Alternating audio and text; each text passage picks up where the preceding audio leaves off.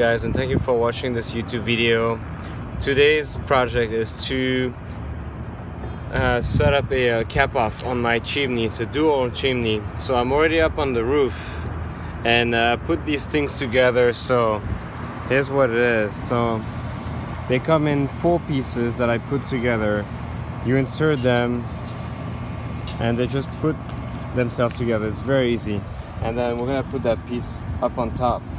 All you need is to put some marks,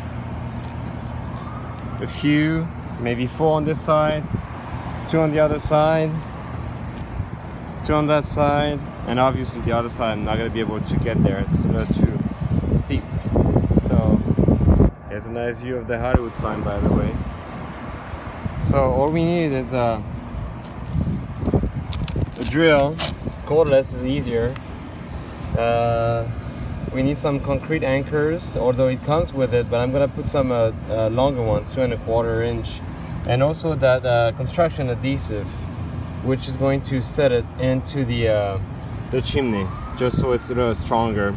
So I'm going to go ahead and drill those holes then put the adhesive and basically put the screws over and then put the top on it and that, that's it. That's an easy uh, easy project.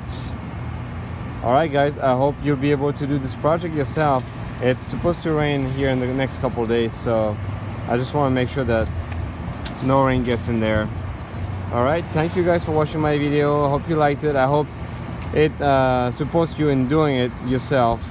That's a pretty easy but a little dangerous just to be on the roof so always be careful where you step and when you step not under wet conditions otherwise you'd be slipping out.